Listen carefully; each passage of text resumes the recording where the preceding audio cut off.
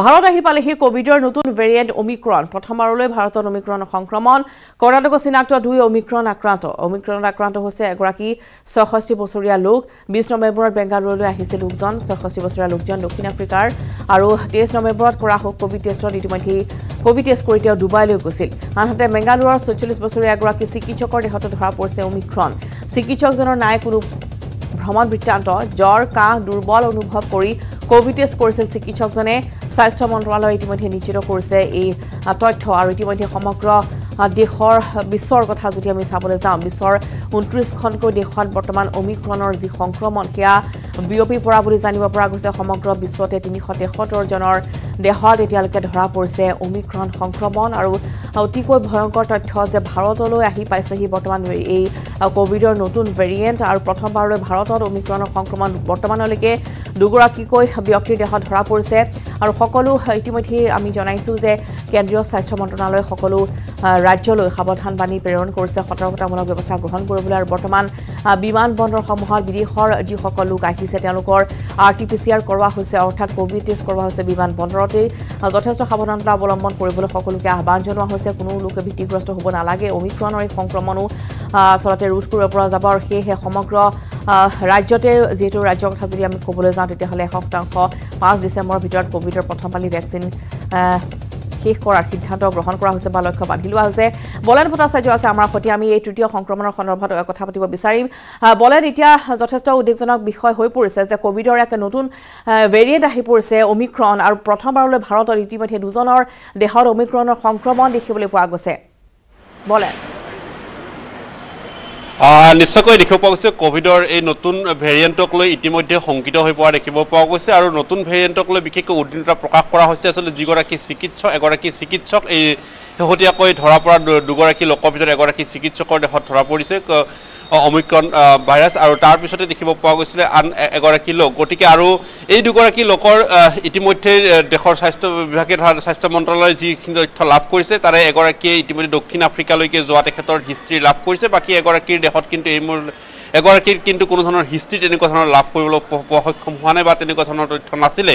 তাৰপিছতে তেখেতৰ দেহত এই নতুন ক'ভিড ভেৰিয়েণ্টৰ লাভ কৰা তথ্য লাভ কৰাৰ পিছতে বিশেষকৈ উদ্বিগ্নতা প্ৰকাশ কৰা হৈছে। আৰু ইতিমধ্যেই দেশৰ স্বাস্থ্য মন্ত্ৰালয়ে এক জৰুৰী বাৰ্তা প্ৰেৰণ কৰি পুনৰ ক'ভিডৰ নীতিসমূহ যাতে অধিকভাৱে সবল কৰিব পাৰে তাৰ কাৰণে ব্যৱস্থা কিছুমান নীতি নিৰ্দেশ জাৰি কৰা হৈছে আৰু এই নীতি নিৰ্দেশ অনুসৰি যে ক'ভিডৰ পূৰ্বৰ যিখিনি নীতি নিৰ্দেশ নীতি নিৰ্দেশ থাকিব সেয়া একত্ৰিছ ডিচেম্বৰলৈকে সময়সীমা বৃদ্ধি কৰা হৈছে। একেদৰে বিমানবন্দৰসমূহ আন্তৰ্জাতিক বিমানবন্দৰসমূহৰ ক্ষেত্ৰত পুনৰবাৰ ক'ভিড পৰীক্ষণ তথা ব- বহিদেশৰ পৰা অহা লোকৰ ক্ষেত্ৰত তেখেতসকলক কোৱাৰেণ্টাইনৰ ব্যৱস্থা এসপ্তাহ সময়লৈকে কোৱাৰেণ্টাইনৰ হোম কোৱাৰেণ্টাইনৰ ব্যৱস্থা কৰা হৈছে। গতিকে এনেকুৱা ধৰণৰ কিছু নীতি নিৰ্দেশৰ মাজত এই মুহূৰ্তত অৱলম্বন কৰা হৈছে।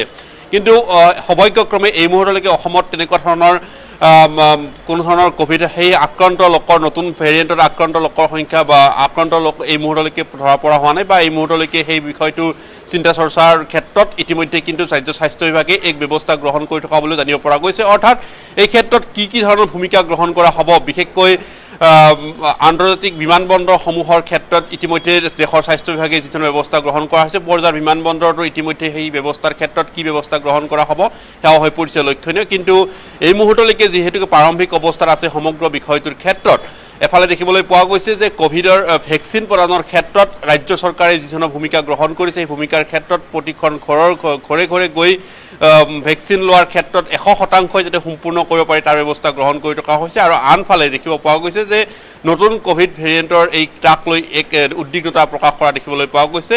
সমগ্ৰ দেশবাসীৰ মাজত এয়া এক দুশ্চিন্তাই এই মুহূৰ্তত বিৰাজ কৰিছে। আচলতে এই ভাইৰাছৰ পুনৰ ভয়াৱহ হ'ব নেকি? পূৰ্বৰ যি পৰিৱেশ পৰিস্থিতি সেই পৰিস্থিতি পুনৰ ভয়াৱহ হ'ব নেকি? তাকলৈ এই মুহূৰ্তত শংকিত প্ৰকাশ কৰা দেখিব পোৱা গৈছে। কিন্তু এয়া বৰ্তমান প্ৰাৰম্ভিক অৱস্থাত আছে। হয়তো পৰৱৰ্তী সময়ছোৱাত এই সকলোবোৰ দিশ স্পষ্ট হ'ব। নিশ্চয়। গতিকে যিখিনি সতৰ্কতামূলক ব্যৱস্থা সেইখিনি আমি হয়তো পাহৰি গৈছোঁ। গতিকে পুনৰবাৰ সাৱধান হোৱাৰ সময় আহি পৰিছে। যিহেতু ভাৰতলৈ যিহেতু প্ৰৱেশ ঘটিছে দুজনকৈ ব্যক্তিৰ সংক্ৰমণ।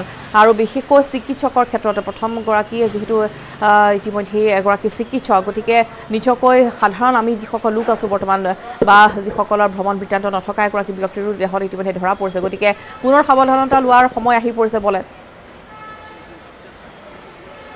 নিশ্চয়কৈ কভিডৰ ক্ষেত্ৰত ইতিমধ্যে স্বাস্থ্য মন্ত্ৰালয়ে যি ধৰণৰ উল- তথ্য প্ৰকাশ কৰিছে আৰু নীতি নিৰ্দেশ জাৰি কৰিছে এই নীতি নিৰ্দেশ অনুসৰি একত্ৰিছ ডিচেম্বৰলৈকে তেখেতক অব্যাহত ৰখাৰ নীতি নিৰ্দেশ জাৰি কৰা হৈছে। অৰ্থাৎ কভিডৰ যিখিনি নীতি নিৰ্দেশ পূৰ্বৰ ধৰণৰ আছিলে সেই নীতি নিৰ্দেশসমূহ মানি চলিব লাগিব আৰু তেনেকুৱা ধৰণৰ আগবাঢ়িব লাগিব। কিন্তু এই নতুন ভেৰিয়েণ্টক লৈ আৰু অধিক কঠোৰ ব্যৱস্থা গ্ৰহণ কৰিব লগা হ'ব নেকি? বা তাৰ ক্ষেত্ৰত আৰু অধিক ব্যৱস্থা ল'ব লাগিব নেকি? সেয়া এই মুহূৰ্তত চিন্তা চৰ্চা পৰ্যায়ত আছে।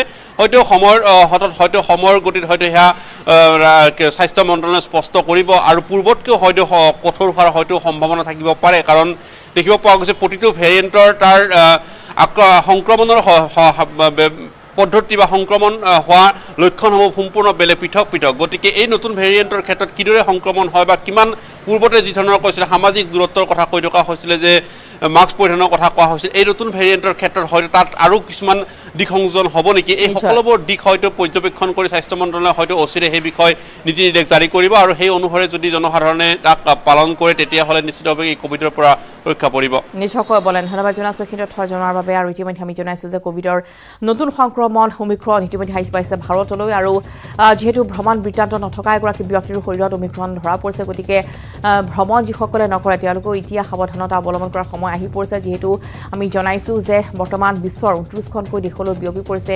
কভিডৰ এই নতুন সংক্ৰমণ অমিক্ৰণ আৰু সমগ্ৰ বিশ্বতে তিনিশ তেসত্তৰজনৰ দেহত ইতিমধ্যে অমিক্ৰণৰ এই সংক্ৰমণ ধৰা পৰা পৰিলক্ষিত হৈছে।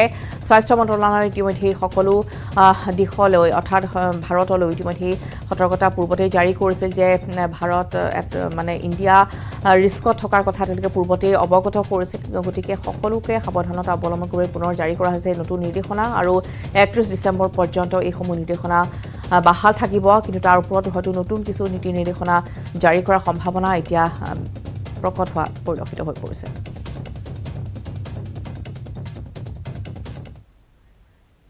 খবৰ নিজাম লাইভৰ লৈছোঁ এটি বিৰতি।